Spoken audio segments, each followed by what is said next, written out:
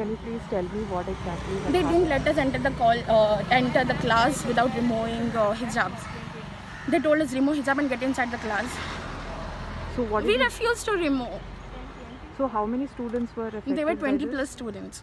So all of them are, have left or uh, are they inside? Some of them are waiting in the restroom, some of them are downstairs, and some of them are going back. So do you think that uh, you will be coming back to campus after this? If they let us wear hijab, I'll come back to college, or else I won't.